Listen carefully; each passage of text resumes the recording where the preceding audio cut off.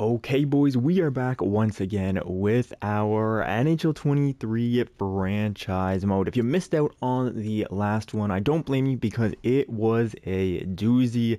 We are currently seated. Where are we in the entire league? I actually do want to check this out real quick, but it was not a great episode. We signed Damien Pascal. Uh, why don't I just reverse search? We signed Damien Pascal to a one year, $5 million deal. That does not seem to be working out in our favor, though, because we are like fifth worst in the sixth worst in the entire league. Um, we're letting in 3.5 goals for per game, but we can shoot the puck. That's for sure. We can definitely score, but our defense is just not there whatsoever. So it's really, really rough to see. In the last one, I asked you guys what I should do to change it, and uh, Divinity, as always, had a good comment for me uh, to change the lines to look like this: Halttunen and Stützle Pascal on the first line, uh, DeBrincat, Malkin, and Tkachuk on the second. Uh, third line being um, Berkly Cat and Drake Batherson and Walker Reimer. So appreciate the insights as always, Divinity. He also left a little bit more of another comment to just say fourth line, whatever you see fit, and um, to focus more on production rather than chemistry. If you guys remember the last one, we had basically plus plus fives um, in the top three pairs. It was something like this, right? Something something like along these lines. We had we had a plus five in the top three um, uh, offensive pairs, and so but that wasn't really working out for us. We're like worse than the NHL. So um, I went ahead and switched the lines accordingly. And we're going to see if these can do anything else for us. On defense, the lines look like Chabot, Sanderson, Rasmus Andersson, Lassi Thomson, Jake Clemenson, Jacob Bernard Docker. I think we might have signed Jake Clemenson a little early because he's minus nine with only seven points. Um, but other than that, I mean, the guys, they're doing their thing. Most of them are plus, other than the, the, the bottom pair is pretty negative, and Thomas Chabot's a bit negative. But I think our real problem is between the pipes here. Hugo Alnefelt has an 889 save percentage and 3.26 goals against average, and Mads Søgaard has an 877 save percentage and 3.72, which they are just unacceptable numbers from a goalie, man. Just absolutely unacceptable. I get that he doesn't have world class defense in front of him, but I mean, we should still be able to keep the puck out a little bit with an 84 in there, you know, at least at at least a 900 save percentage is what I'm shooting for, but in this episode, we will probably finish the season because I don't know if we're going to make the playoffs. I know it's been a while since we made the playoffs, boys, but uh, this is the trial and error of being a GM in the National Hockey League. Let's go watch Buffalo and get this simulation underway here. That's a loss to Chicago. Finally, we get a win. What kind of a losing streak did we just go on, man? I'll check it out. We just went on a. Where's our last win here? So it's a 1 2 three, four, four game losing streak, and then we win against Tampa, and then we lose to them as well. I gotta go do the scouting, but I will be right back. Okay, all that taken care of. Let's go watch the Buffalo game here. We are in Buffalo, so not gonna get that home ice advantage, but what are you gonna do? First period, down two to one. Patrick Laine and Jeff Skinner score, but Alex DeBrincat answers back in our favor. Down two to one. Second period, up four to two. Let's go. Walker Reimer with two goals. Damien Pascal Pascal on that first line with a goal as well. Let's get through this third period now, boys. Come on, do not crumble. I need uh, Hugo Alnefelt to play well. We also take a lot of penalties, I've noticed, man. I feel like every time we're in the simulation, there's another one. I feel like every time we're in the simulation, we take like multiple penalties. And it's kind of annoying, but also Ottawa's a pretty physical team, so it's, uh, I guess it's kind of realistic. I mean, Ottawa takes quite a few penalties. We end up winning that game 4 to 3, though. Let's look at the three stars. Uh, Walker Reimer with two goals, DeBrincat with a goal and an assist, and their backup goalie came in and made 12 saves. Congratulations to him. Perhaps their starter got injured or something. I don't know. Let's simulate down to, let's see, maybe like the Toronto game, Battle of Ontario, kind of. Man, yeah, I don't know. I don't know how the season's gonna go. That's two in a row. That's three in a row. Okay, boys. Okay, we turning it on here? Uh, about halfway through the season. I don't know. Uh, lost six to four. Lost five to two. Okay, why do I even talk? I do not know. Colorado now. We lose to them five two this time. A fourth and a fifth, and Oliver Ekman Larsson. No, thank you. we might have to fire our coach as well, man, because this season has been disastrous. That's a win against Florida. That's a win against Arizona. That's a win against the Ducks. We're on a three-game winning streak now. It's not going to do anything for our position, though. Still last in the Atlantic by quite some uh, time, or by by quite a wide margin. I think our, our we're in the toughest division as well. Um, I think, yeah, we're in a pretty rough division, to be honest. But we're also not playing well. So, what do you expect? We have a losing record. Um, we're below NHL 500. That's pretty hard to do, to be honest. So, what are you going to do? Walker Reimer scores another goal in the simulation here. So, that's pretty cool. Second period underway. Down 5-2. Oh my goodness, dude. Down 6-2. Yikes. We are just getting laughed out in in uh, in this building right now. I think are we in Toronto or are we in the CTC? I hope we're not in the CTC, man. That would be disastrous, dude. 7 to 3. Okay, let's just get out of there. Boy, oh boy this team is rough, and I don't really know why. Like, if you just look at our overalls, I know overalls not everything, but if you look at our overalls, we should be a fairly decent team, man. Like, I don't really understand why we are performing so poorly. It doesn't it doesn't really make any sense to me. Um, to be honest, that was a trade for Tarasenko, who's on Detroit. That's really funny, actually, because Tarasenko is on Ottawa and DeBrincat is on Detroit in real life. So that's pretty funny trade, actually. Not gonna lie. Uh, Seattle lost and then win against St. Louis. At this point, we just want to tank and lose as many games as possible. Um, so I'm gonna make some trades here at the trade deadline, and let's see um, what I can come up with. Okay, so Connor Brown is a guy who we kind of took a chance on in free agency. He didn't play any games for us this year, but you know, in the past three years, he's played 82 games, but he's been a minus every single year. Hasn't really helped with the team very much, so I'm okay with saying goodbye to him.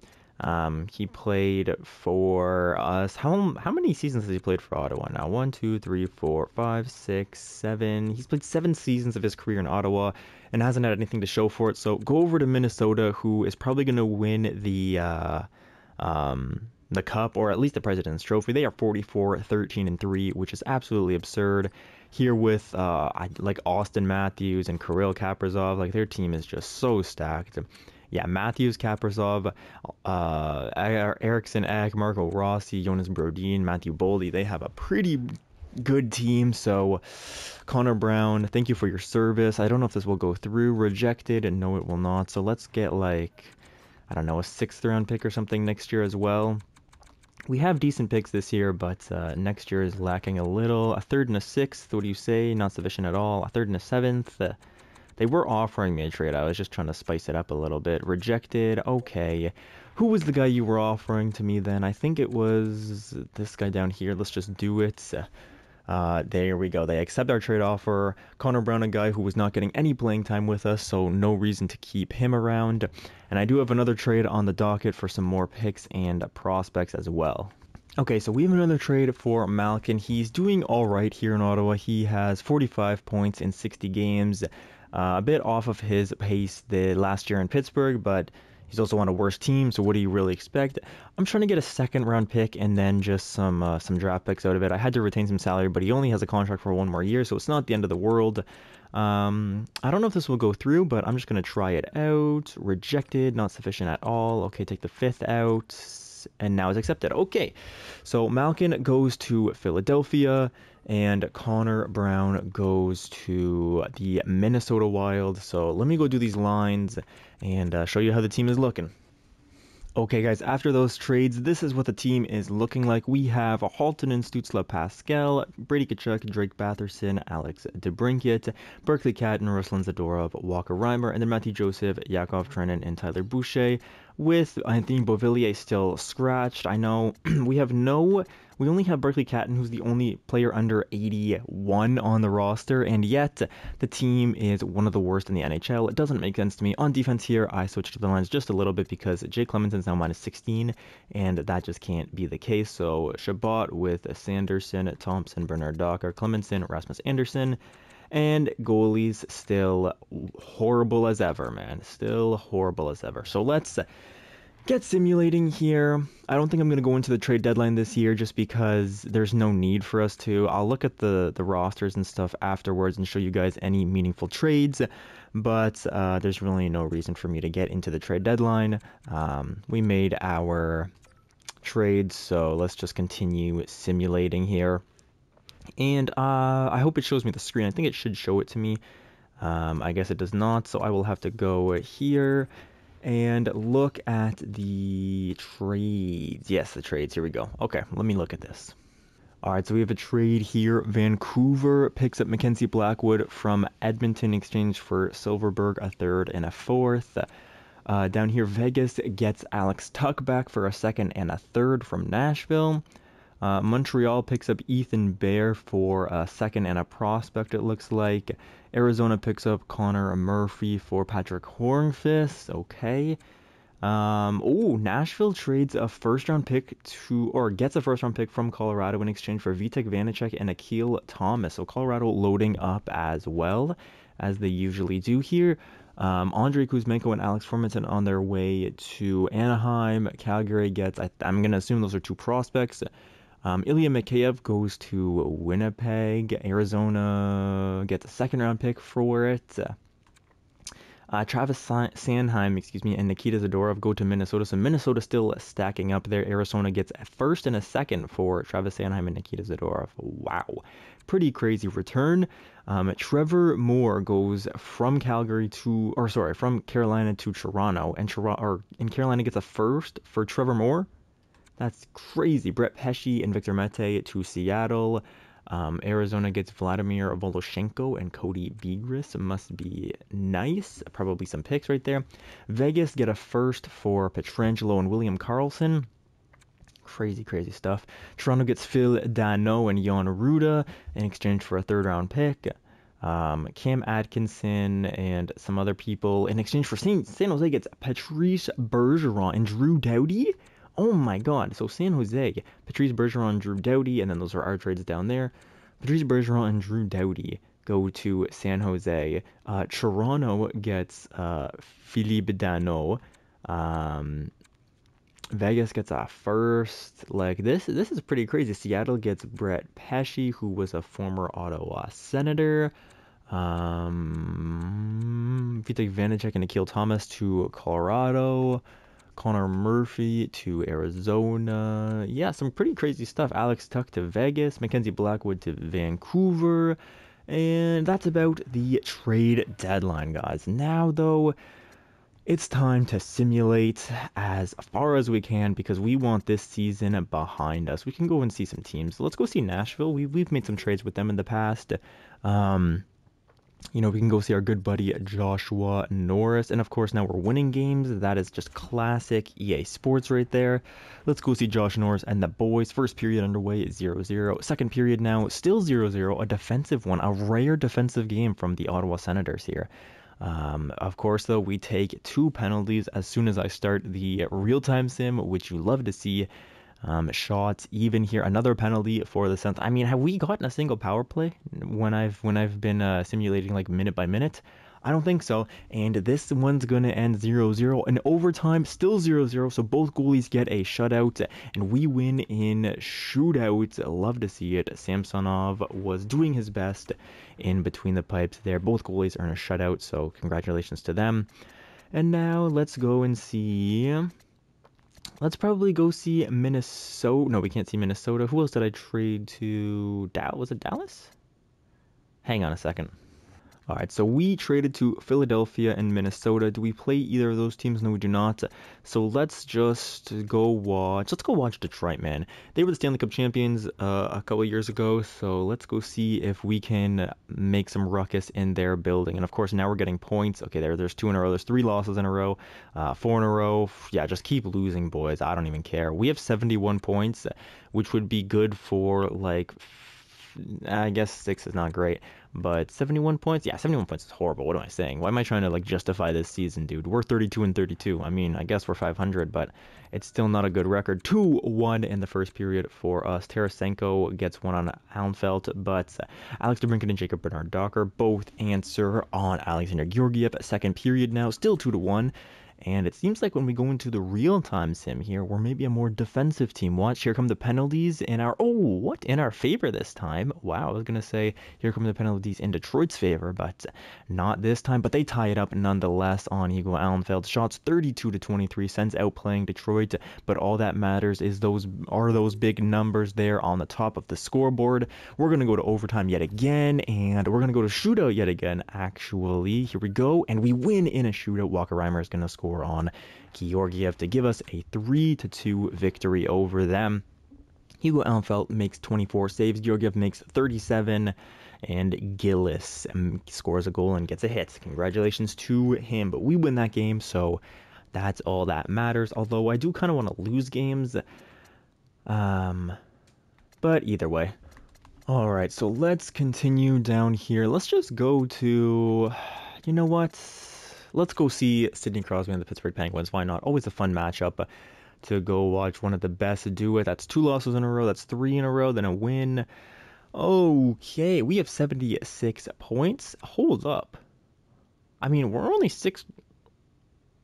I know that that would be crazy, dude. The Panthers would have to like lose every game. Um, and we would have to like win a lot of them. So that's not going to happen. But I was I just got a little curious there, man. A little curious. No, no, no. We can't we can't make the playoffs. Um, we're going up against Pittsburgh here. Uh, let's see what happens. I just want to get some gameplay in for you. Well, not gameplay, but you know, go see, go see the real time sim. Two to nothing for the Sens. Chabot and Ruslan Zadorov. Hopefully, he's turning his season around because he had a horrible start to the year. Second period now, four to nothing for the Senators. Kasper Halttunen and Alex DeBrincat. So the boys are shooting and the defense is defending as well. And great commentary from myself there. We're about halfway through this third period. Score remains, I was going to say remains the same, but it does not because Drake Batherson puts one behind Martin Jones to give the Senators a 5 to nothing lead. A barn burner against the Pittsburgh Penguins, who I think are actually a pretty decent. No, are you kidding me? Well, I think actually a pretty decent team um, this year, but Shane Goss just scores on Hugo Alnefelt to break his shutout. Usually, I'm not afraid to say the word shutout, but in EA land, you never know. So five to one win there over Pittsburgh. Our yeah, Pittsburgh is. Are they one of the best teams in the? I guess they're kind of one of the best teams in the league, but nobody's touching the Minnesota Wild. Let me tell you that. Uh, let's just go to the last game of the season. It's up against Nashville. What better way to end it? Can we go on a run here late? Um, no, we cannot. We are we have 80 points. Uh, which is never going to be good enough to get you into the playoffs. We will look at the league leaders and all that stuff after this game, but up against Nashville, who are a horrible team, by the way. First period, we're up 2 to nothing. Walker Reimer and Alex DeBrincat. Love to see it. Second period now, two to one, still in our favor. Of course, Josh Norris is going to score against his old team. Here comes Anthony Duclair as well, but then Kasper Halttunen answers right back on Ilya Samsonov. Last time these two teams saw each other, it was a one to nothing shootout. So uh, definitely changing the game here. Four to three now. Ruslan Zadorov scores on the power play for Ottawa. Five minutes left in this one. Then Tyler Benson's going to score shorthanded because of course he will. A long power play for Ottawa. We can't capitalize on it, and we are going to overtime. These two teams very evenly matched, not in a good way though, because they're both at the bottom of the league standings. Overtime solves nothing. We're going to shoot out once again, and we win in a shootout, Drake Batherson. At least that's something we can say, man. It seems like our shootout uh, always comes through. Love Ruslan Zadorov with two points, Joakim Kelm, Joakim, Joakim Kemell with two points, and Anthony Duclair as well. big, big game. Well, not a big game at all, actually. It means literally nothing. Let's go see has everybody played 82 games? Yes, they have. So now we can look at the team leaders, the league leaders, and all that jazz. Alex DeBrincat here is our leader on the team with 77 points. Finally puts up a pretty respectable season. He had 36 goals as well. His most as a senator, yes, yes, his most as a senator. So good stuff there. I mean, he's he's been he's been a very consistent player for us. I know I was uh, you know, talking bad about him a little bit, but he's been a pretty consistent player for us. 77 points and 36 goals. Nothing to scoff at. Very, very well deserved for Alex DeBrincat there. Uh, then it's Brady Tkachuk, who also had a turnaround season as well, I think. Yeah, kind of. After that 45 point performance, he definitely turned it back around with 63 and 69, respectively. 84 penalty minutes, as we like to see Tim Stützle on that, centering that first line with 67 points, only 20 goals, which I think is a bit lower than last year. Yeah, yeah, about nine lower than last year, but still more assists. His career high in assists? Yes, it is. So career high in assists, maybe not in points, but um, still a respectable year. 67 points, nothing too bad. I'd love to see a little bit more point per game, maybe, but you can't ask for everything around here. Uh, Drake Batherson continuing to impress quite a, a, decent amount with 61 points. Yikes, though. Two big gambles we took. Well, I guess Kasper Halttunen is a homegrown talent. Uh, with five star shooting, only scored 18 goals here and uh, Damien Pascal, who we signed to a one year deal worth $5 million, only with 45 points, a minus 12 and minus 16 as well. So, not amazing stuff you like to see. I'd rather have a guy like Walker Reimer, who only scores 36 points, but with, um, you know, only a minus 5, you know, it's, it's they're kind of interchangeable here. Uh, Matthew Joseph actually had a good season, only averaging nine minutes a night, but scores 30 points. That's pretty good. That's pretty dang good. Berkly Catton is here as well. He had 29 points, a worse season than Walker Reimer, but still not a bad rookie season. I mean, he was on a horrible team, so what do you really expect? And Ruslan Zadorov actually turned it around as well here. He, I remember he started the season. He had like 10 or 11 games played with like zero points. So he actually played pretty okay towards the end, which I'm very happy to see. Uh, Yakov Trenin as well also played pretty decently here 20 points in 62 games for a fourth line center. I will not be mad at that. And then Tyler Boucher has been quite the bust in the franchise mode, but with 96 stick checking, he can get it done defensively at least. He's a zero on a bad team. Looking at defense now, it's Thomas Chabot who goes, uh, who has 52 points.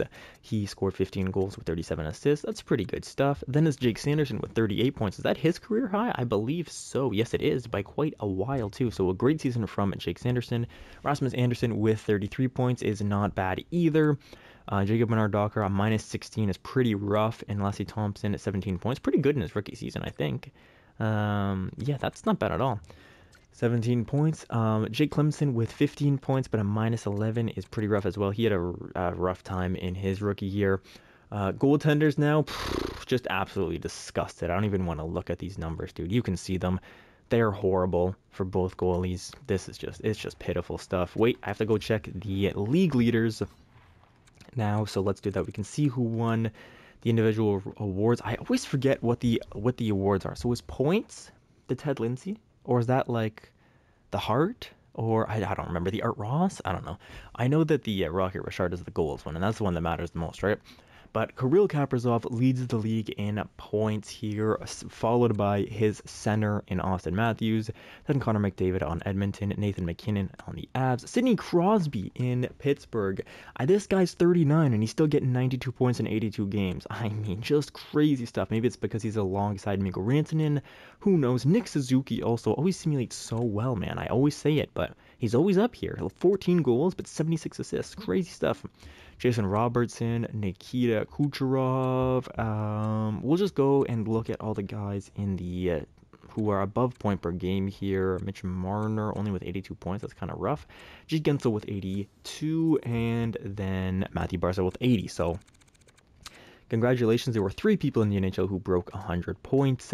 Looking at goal leaders, it's Nathan MacKinnon and Wade Harding, who was drafted two years ago? No, this is his first year. In his rookie season, he is up for a potential, or he he um ties the Rocket with uh, Nathan MacKinnon. That's crazy. I don't know if there's a tiebreaker for it. If it just goes to both of them, is a tiebreaker who scored more points. Wade Harding, a pure. Pure, pure, pure shooter, dude. He had 363 shots and he only had 15 assists for 68 points. Great rookie year. Uh, speaking of it, actually, no, let's go to defenseman first. And of course, Makar is going to win the Norris. I think Brandt Clarke has uh, had quite a few points as well in this uh, simulation, but Makar wins it this year with 80 points in 82 games.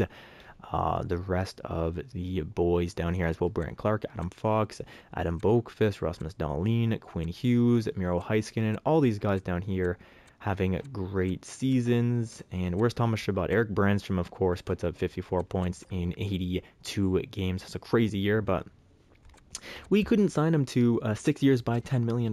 We just don't have that kind of money, so not too worried about a Jake Chychrun, who is a real life senator, has a good season as well. And there's Thomas Chabot down there. Looking at goalies now, you know who's not going to be up here? Freaking Hugo Alnefelt in the gang. But Jesper Wallstedt will, who it looks like Minnesota has cleaned up on the awards. He has a 916 save percentage and a 2.52 goals against average. Those are really, really good numbers in EA land. For sure, Jake Oettinger as well. Anthony Stolarz, who is a 82 overall, getting a 915 save percentage. Yep, that's the EA simulation for you. Now let's go to rookie skaters, and it's going to be Wade Harding for sure. With 50 goals, yeah, you're winning the Calder 100%. He had the most points. He had a decent plus minus. He uh, he kind of takes a lot of penalties though, and a crazy amount of shots. You're definitely getting the Calder, my friend. Looking at goalies, unless there's any crazy goalies, no, I don't think so. Yeah, the Calder definitely going to Wade Harding here. A great sniper. Um, 53 goals in your rookie season is absolutely crazy. So I think that's everything that we had to look at. Oh, no, no. Let's look at the teams and look at where we rank. We can also do the draft lottery in this video. Why not? In the entire NHL, we are... I'll scroll down for this one, although it will lag because I'm recording, which you love to see. Okay, let's go. We're 20, 23. So we have Philadelphia's pick as well. So we have the... What is that, like the 10th pick or something? So Philadelphia's pick is ours, and we have the 26th overall pick as well. Okay, so that means we are. So this is pick one. New Jersey picks first overall. Uh, second overall, third, fourth, fifth, sixth. We have the seventh overall pick and the tenth overall pick. So we pick at seven and ten as long as we don't move in the draft lottery, which is not bad at all. We should be getting some respectable players there, but we might uh, be packaging a deal to be honest. I don't know. I don't know if Damien Pascal is going to stick around. Something that you guys will have to chime in on for sure. Um, oh, I didn't even I didn't even mention who was like first in the league, stuff like that. What am I doing, bro? So Minnesota obviously wins the President's Trophy. They are just a force to be reckoned with. Then it's Buffalo, then it's Toronto, Dallas, Colorado. So a lot of Western Conference teams actually. I think it might be split five and five in the or four and four in the top eight. Yeah, it is. So that's pretty cool. The East and the West may be equally competitive this year which is pretty uh, cool. You'll love to see it. Those are what the um, team stats look like and the player stats. So with all that being out of the way, we can simulate basically to the end of the year, simulate to the draft pretty much. Um, I have to just do the scouting real quick, but I will see you guys when we either have Stanley Cup champion or when the draft lottery shows up. And the playoffs have completed, and it looks like the Toronto Maple Leafs, they got it done without Austin Matthews, but with Mitch Marner and the gang, they got it done, and they are the 2027 Stanley Cup champions. So, congratulations to them. Um, now I will simulate to the draft here.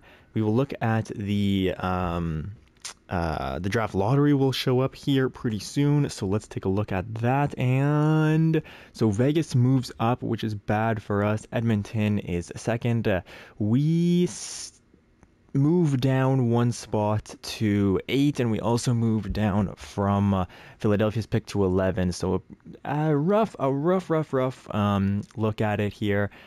Uh, we moved down in both spots, so we're drafting at number 8 and number 11 instead of at number 7 and number 10. So, not the best thing in the world, not gonna lie. But let's get the draft day. Oh, first of all, let's view the retired players. Did Malkin call it a career? Other stuff that happened in the league. Alexander Ovechkin goes out at the age of 41. He's still at 85 overall and uh, these career numbers just crazy. He ends with 993 goals, seven shy of a thousand goals, but an incredible career to say the least. 1,800 points. Uh, uh, next up on the docket is Patrice Bergeron, who just retired a few days ago, actually. So uh, congratulations on a great career here in the simulation as well as real life. He ends up with 1,200 points. Blake Wheeler is here as well at the age of 40. It seems like all these guys ending at 40. Ryan O'Reilly here Only 36 years old though, so what do I know? 1,008 points, ends his career with St. Louis. Uh, David Krejci as well retires. Jamie Benn here at 37 years old, 72 overall. Yikes. Roman Josi calls it quits. Uh, um, Josh Bailey, Kyle Okposo, Alex Killorn, Chris Kreider, Jonathan Marchessault. So, all right, so uh, some legends. Mike Hoffman, the uh, uh, an Ottawa Senator legend here in like 2017. Yeah, he had a great, he had a good season here at 2016-17 when we made the playoffs. Tried to make our run, but then Pittsburgh beat us in double overtime, Game Seven. I'll never forget that. Uh, is here as well, the absolute legend. What about goaltenders now? Marc Andre Fleury, he retires in Laval, so he actually retires in Montreal. Had an 80 overall, he had a 922 save percentage. Crazy stuff. Uh, Jonathan Quick here also retires. Um, Yaroslav Halak, Semyon Varlamov, an absolute legendary a goalie goalie retiree class as well. Darcy Kuemper, Martin Jones was good for a hot second. James Reimer, oh my goodness, dude, what a what a class. Pavel Francouz, uh, Louis Domingue, Casey DeSmith, some Penguins goaltenders, Michael Hutchinson, Michael Houser um, and the legend Christopher Gibson as well. So pretty pretty stacked uh, retirement class to be honest. We have Alexander Ovechkin, Bergeron, Ryan O'Reilly, Blake Wheeler, Marc Andre Fleury. Um, what yeah, what about defensemen here? Alex Edler goes out, Ryan McDonagh, Jeff Petry. Okay, so pretty cool. And then uh, you know, Marc Andre Fleury, Jonathan Quick, Yaroslav Alexei, and Varlamov. I mean, all just crazy, crazy, crazy talents. Uh, all going out. So congratulations on great careers to all of them. Marc Andre Fleury, look at that on the far right, ends with 28 points as well. Jonathan Quick scored a goal. I don't know if he's done that in real life, but uh, um, or if that was in the simulation. Um, forgive me on my ignorance there, but uh, either way, Jonathan Quick ends with a goal. Marc-Andre Fleury ends with 28 points, which I think is pretty funny. Also, pretty good career numbers from both of them. But that is it for the retirement class. Why did it take me to the middle of the regular season? I don't know. Uh, this game is so glitched. It took me to November of 2016 when we're in June of 2027. Sure. Or, sorry, of 2026 on 2016. My apologies. There, there we go. We're on draft day now, so I will show you guys the draft. Remember, we pick at number 8 and number 11, so any uh, suggestions you guys have will definitely help out all forwards um, here in the top five on medium elite forwards. We have a playmaker, a sniper, two way forward, two way forward, and sniper. So I don't know. We have snipers on the team. We don't have a big two way forward though. So maybe if we want to trade up, it's going to be one of these guys. Maybe one additional sniper. I don't know. So we pick at number eight. Number eight, apparently Wes Klimmy is supposed to go. He is two years away, similar to Sergei Gonchar with one T and puck on a string. I would assume you have one T if you're similar to Sergei Gonchar. But who else do we have? A lot of defensemen here around number eight. This guy's NHL ready with no contest, but we just picked up Jake Clemenson. Do we really need somebody like this? A plus physical, uh, B defense. Okay, not not bad at all. This guy also NHL ready, left defenseman with wheels and snipe, 2 AD. He has better numbers for sure. He's like A's everywhere. Um, this guy has some B's. Okay. Wes Clemmy, who we just looked at, is two years away. Interesting stuff. Then Albert Brathwaite. Uh, he's three years away with no X Factor, so probably not going to be Brathwaite here. Uh, Connor Barry, three years away with some X Factors. Okay, something to look at. Center, two way forward as well. Then picking at number 11 here is Sean Sharma. Uh, decent production in the OHL. Three years away, medium top six forward with ankle breaker. Okay, not bad.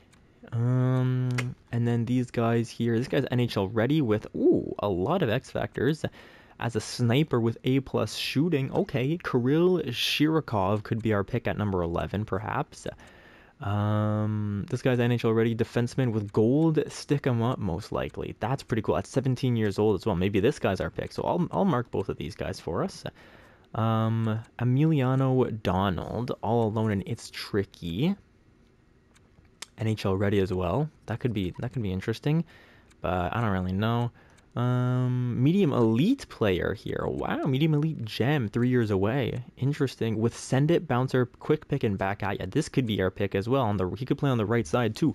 Does he have? Is he pinch? Yeah, he cycle pinch as well, so that's good.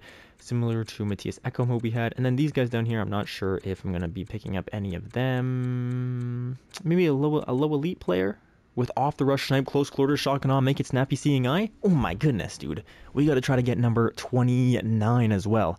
So pretty cool, man. There's a, a lot of a lot of uh, X Factor type players. I'm just gonna go through the list and see who else I should ping. All right, so that looks like it is it. I want you, I have a question for you guys. Question of the day, if you will, is who do we go after in the draft? Do we try to pick up uh, uh, one of these top five players, trade up, maybe Damien Pascal and a first for one of them, or maybe Damien Pascal straight up? I don't know. Uh, try to get some homegrown talent, or do we try to re sign Damien Pascal as well? I'll show you guys what he wants. He wants, uh, let's view the contracts here. Uh, where is he? Damien Pascal. He dropped to an 87 overall. He wants two years, 7.275 mil. Not totally unrealistic, um, but let me know what you guys think about that type of extension for him. If you, we go further, he wants a lot more money. Um, but two years, seven mil is not a bad deal, I don't think, for Damien Pascal. Other than that, uh, nobody else we really have to re-sign here. Goaltending wise, though, we have to re-sign both of these guys. But honestly, Hugo Alnefelt, I'm not signing you for Jack, so you can get out of here. And Mads Søgaard, you know what? I mean, you played horrible for us, to be quite frank, but uh, $1 million won't be crazy for me, so I'll probably sign him. Um, but without further ado, guys, that was this episode. Kind of a meaningless one. Toronto wins that Stanley Cup. Um, but yeah, if you like it, give it a like, comment if you're new, subscribe, all that stuff. Let me know what you guys, who you guys think I should pick up. Let me know if you think we should re-sign Damien Pascal as well. Um, but that's been it for me. I hope you guys have a great rest of your day, and peace out, everybody.